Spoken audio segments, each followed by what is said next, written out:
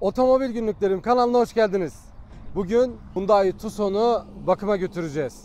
Tucson'u geçtiğimiz ay satın almıştım. Araç 2020 model ve 1.6 litrelik 4 silindirli turbo benzinli bir motoru var. Donanım paketi ise Power Edition. Power Edition eski stillerin yerine gelen biraz daha dolu bir donanım paketi. Segmentinin diğer üyelerine de baktığımız zaman orta dolulukta bir otomobil diyebilirim. Araç 2020 model arkadaşlar. Alkanlar Oto'dan almıştım. Şimdi Sivas Hyundai'de servis bakımını yaptıracağız. Maliyetlerin bu kadar arttığı bir dönemde bir SUV otomobilin 1.6 litrelik motoru olsa dahi bakımı ne kadar ben de merak ediyorum. Hyundai ülkemiz şartlarında bakım maliyetleri biraz daha uygun olan bir otomobil markası. Tucson epeyden beri istiyordum. Hatta bu Power Edition'lar ilk geldiğinde showroom'da beğenmiştim ama gücümüz yetmemişti. Şimdi ise ufak bir cesaretle, ufak bir borçlanmayla Tucson'u satın aldım. Ben aldığımda 19 bin kilometreydi. Şimdi 22 bin kilometrede. İlk bakımın erken girdiği için 15 bin kilometrede bir oluyor bunun bakımları. 22 bin kilometrede bakımı doldu. Yılı dolmadı ama bakımı doldu çünkü ben birazcık fazla biniyorum. Tucson aslında standart bir Tucson. Önde kaplamaları var. Yan tarafta eşikleri var. Çok fazla ekstra bir şey yok. Elektrikli bir bagajı var. Donanım olarak bu sınıfta gayet yeterli bir otomobil diyebilirim bu otomobil için. Bakım aralıklarının 15 bin kilometrede bir olması da bence oldukça güzel bir detay arkadaşlar. Bundan önce Honda vardı. Ondan önce Toyota vardı. Onlarda bakım aralıkları 10 bin kilometrede birdi. O ciddi manada yoruyordu ama bu gerçekten bakım aralığı olarak güzel. Yaklaşık 2 ay önce yine 1.6 turbo benzinli bir 3008'i bakıma götürmüştük ve 3000 lira civarında bir para ödemiştik. Arkadaşımın arabasıydı. Honda'nın bakımı gelmişti. 1.5 turbo Honda'm vardı. Honda'nın bakımına da ortalama 3000 lira civarında Honda bir para istemişti ama onun bakımı 10 binde birdi. Şimdi bakalım Hyundai'nin bakım maliyetleri serviste ne kadar tutuyor? Dışarıda bakım yaptırsam, kaliteli bir motor yağı alsam bu otomobile, ben motor yağı severim bu arada. Yaklaşık olarak 1000 ile 1500 lira arasında bir fiyatı oluyor.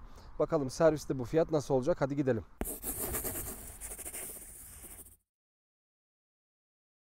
Tucson'un bu orta bilgi ekranda bakım yaklaştığında ortalama 1500 km kala bir uyarı veriyor. Her çalıştırdığınızda bu uyarıyı yeniliyor. Diyor ki 1500 km, 1400 km, 1300 km bakıma kalan aralık diyor. Ben uzun yoldaydım. Gelirken bir yaklaşık 150-200 km kadar geçirdim. Bu çok önemli bir şey değil arkadaşlar. Ortalama 15.000 civarı hani o dolaylarda veya bir yıl civarı. Bazı firmalar bu küçük 1-2 günlük aksamalara veya işte bu 100 kilometrelik 150 kilometrelik aksamalara sıkıntı çıkarabiliyorlar. Ya işte sıkıntı olabilir ilerleyen dönemlerde garantide falan filan diyorlar. Siz onları aldırmayın sıkıntı falan olmaz. Bu civarlarda bakım yaptırmanız gerekiyor.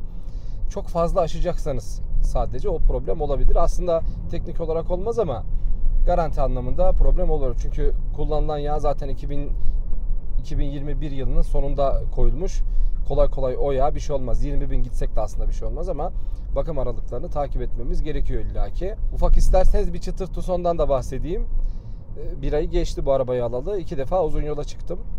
Uzun yolda oldukça keyifli bir araba. SUV hissiyatını sonuna kadar hissettim yani bu arabayla birlikte yolculuk yaptığımda. 3008 bakmıştık onu da alabilirdik ama Ayşe onu çok beğenmemişti.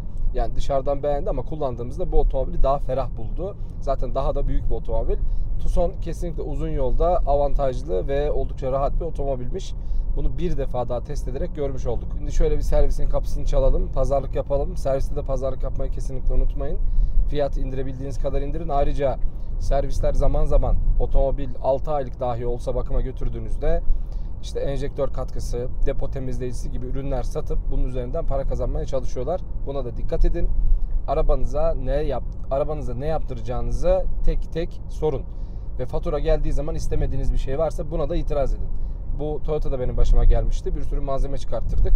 10 bin kilometredeki arabaya bir sürü temizleyici falan koyuyorlardı. Ben böyle bir şey istemiyorum. Arabada servisten çıkarken yıkayıp bile teslim etmiyorlardı. O kadar içini temizliyorsun, dışını da temizle o zaman. O da yoktu yani maalesef. O yüzden biraz daha titiz davranmakta fayda var diye düşünüyorum. Hadi servise gidelim.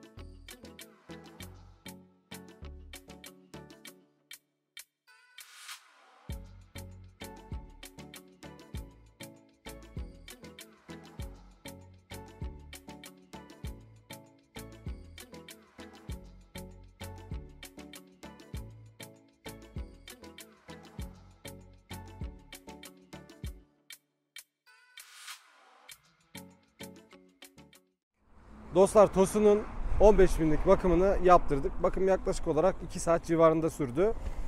Bakımı yaptılar. Ben de biraz ara görüntü aldım sağ olsunlar. Burada Sivas'ta İnoto'da yaptırdım. Sivas bayinde yaptırdım. İnoto'yla her ne kadar çok anlaşamasak da Sivas çalışanlarıyla aramız çok iyidir. Onları çok severim. İlgileri için de gerçekten teşekkür ediyorum. Araca 15 bin bakımda neler yaptılar? Şimdi onlara bakalım. Bir de birkaç detaydan bahsedeceğim. Önemli. Hatta kalın. Tucson'un 15 bin bakımında yani ilk bakıma zaten 7 bin 8 bin kilometrede girdiği için biz ikinciye 22 binde girdik. Ee, 15 bin kilometresi dolduğu için ilk yılında 15 bini doldurmadan yıl dolduğu için girmişler. Ben almadan önce zaten bunlara bakmıştım tamamına. Önemli hususlardan bir tanesi şu. Bakımı yaptırdığınız zaman size söylemiştim. Araca neler yapılacağını tek tek sorun. Sonrasında bu otomobilde kocaman bir sunroof var. Aracınızda sunroof ve cam tavan varsa rutin bakımlarında en azından iki bakımda bir sunroof cam tavan bakımı yapılmasını isteyin. Evraklarınızda sunroof ve cam tavan bakımı yapıldığını firma görürse yarın öbür gün bir problem çıktığında sizin bu konuyla ilgili hak talep etmeniz mümkün olur. Dersiniz ki ben bakımlarını yaptırdım. Ama mesela sunroof olan arabalarla ilgili firmaların en büyük kaçtığı, garantiden kaçtığı yol siz buna hiç bakım yaptırmamışsınız. Bu önemli bir husustu kesinlikle ve kesinlikle aracınızın problem yaratabilecek yerlerini bunda şimdiye kadar hiç sunroof problemi yaşayan görmedim ama yine de sunroof otomobillerle ilgili geçenlerde şahit olduğum bir konudan dolayı bunu özellikle size söylemek istedim. Ben de bunu kesinlikle eklettim. Şimdi içine geçelim. Sessiz bir yere bakalım bakımda neler değişmiş, neler yapılmış. Faturamı şöyle karşıma aldım. Kartel tapapulu 12 lira. Fren balata temizleyici 45 lira. Cam suyu 1 litre 31 lira. Hava filtresi 382 lira. Polen filtresi 443 lira. Bunlar eskiden bizim bakım yaptığımız paralardı. Yani bu paraya bakım yaptırıyorduk. Yağ filtresi 134 lira. Hidrolik yağ 121 lira.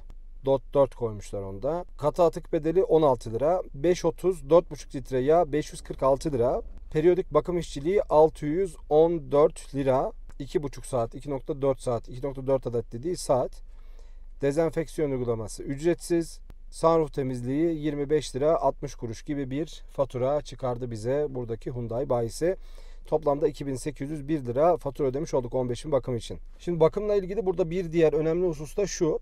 Otomobillere bakım yaptırıyoruz. Ee, bunları zaman zaman dışarıdan yaptırıyoruz. Zaman zaman servisten yaptırıyoruz. Ama şu dönemde otomobil alış satış işleri çok daha fazla. insanlar para kazanmak için çok daha fazla otomobil alıyorlar, satıyorlar. Ve servis bakımda olmasına, garantisinin devam etmesine çok önem gösteriyorlar. E, çünkü bir otomobilin bir yerine bir hasar olursa, arıza gelse gerçekten bunu karşılamak çok ciddi maliyetler gerektiriyor. Bu sadece bizim için değil, otomobil firmaları için de bu şekilde geçerli. O yüzden insanlar genelde garantili otomobil olsun diye uğraşıyor. Hyundai tarafının tabi burada garantisi uzun. Japon ve Kore araçlarında genelde garanti uzun oluyor ama yıllar geçtikçe bazı ana parçalar garantiden çıkıyor. Mesela Honda tarafında ben buna şahit olmuştum. Bir parça listesi var size vermedikleri. 6 yıl garanti diyor ama mesela önceki araçlarımdan bir tanesinde gergi kütüğü arızası yaşamıştım.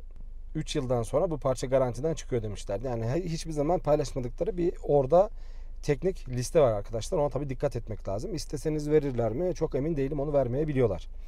Bununla beraber araç bakımlarını sadece servisten yaptırmak zorunda değilsiniz. Boşkar servis gibi bazı özel servislerde yani yetkilendirilmiş servislerde yaparsanız da servis bakımında sayılıyor arabanız ama garantiye gireceği zaman yetkili servisler buna problem çıkartabilir. Onu da biraz uğraşmanız lazım. İnsanlara da uğraşmadığı için genelde yetkili servisin direkt kendisini tercih edebiliyorlar. O yüzden tabi serviste bakım yapacağınız araba yeni bir arabaysa, garantili bir arabaysa çıkmasın diye serviste devam etmeniz evet makul mü? Makul. Mantıklı yani en azından satacağınız zaman da avantajlı bir durum oluyor bu durum. Ama mesela biraz daha eski 10 yaşında 15 yaşında bir arabaysa kesinlikle dışarıdan ve servisten fiyat almadan bakım yaptırmayın. Bakın dışarıdan ve servisten. Şöyle bir mantık var. Dışarısı servise göre ucuzdur. Vatandaş gidiyor dışarıdan fiyat alıyor 6000 lira. Diyor ki servise gitsek kesin 12-13 çekerler. Bir git bir sonra abi. Çünkü serviste gerçekten o fiyatı çekmeyebilir. Bir de araçla ilgili bazı parçaları servisten temin edip dışarıda tadilatta yaptırabilirsiniz. Bilginiz olsun. Orijinal parçaları servisten alma imkanınız da var. Buna da kesinlikle dikkat etmeniz gerekiyor. 2022 yılının Haziran ayında 2800 liraya bir servis bakımı yaptırdım kendi aracıma.